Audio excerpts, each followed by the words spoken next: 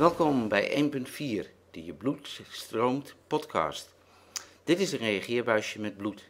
En als je dat een poosje laat staan, dan zie je dat de bloedcellen onderin komen te zitten. En bovenin is dan het lichtgele het bloedplasma. Het bloedplasma vervoert voedingsstoffen, afvalstoffen en ook koolstofdioxide. De bloedcellen vervoeren zuurstof. De kleine bloedsomloop die begint bij je hart en die gaat naar de longen en gaat dan weer terug naar het hart. De grote bloedsomloop begint ook bij het hart, maar gaat naar de rest van je lichaam en dan weer terug naar het hart. Bloed komt dus twee keer langs je hart als die één keer helemaal door je lichaam gaat.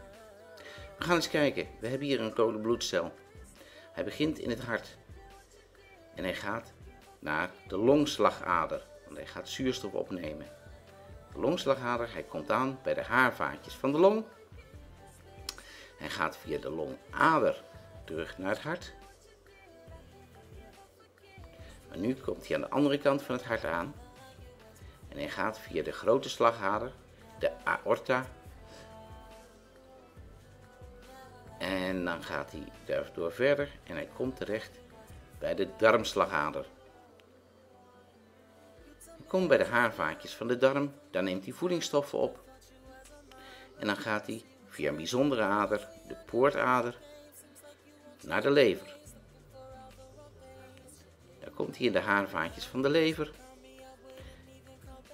en via de leverader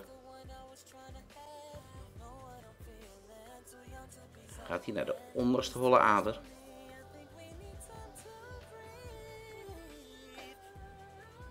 En weer terug naar het hart. We hebben hier bloed gezien dat zuurstof opneemt in de longen en voedingsstoffen opneemt bij de darm. We gaan kijken naar bloed dat van het lichaam komt en die komt aan bij het hart. En dan komt hij in de rechterboezem. Let op, rechts en links zit voor je gevoel omgedraaid. Hij komt hier bij de rechter hartklep en daarna komt hij in de rechterkamer terecht. Als het hart samentrekt, dan gaat hij onderweg en dan komt hij hier bij de slagaderklep. Hij komt terecht bij de longen. Hij gaat weer terug, nu naar de linkerboezem, linker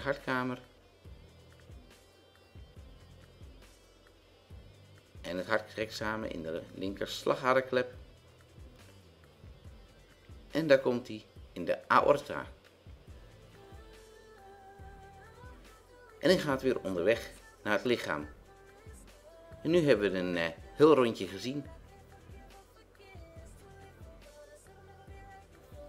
Je hebt drie soorten aders. Slagaders, die vervoeren bloed van het hart naar een orgaan. Je hebt aders, die vervoeren het bloed van het orgaan naar het hart. En je hebt haarvaten, die zitten er tussenin.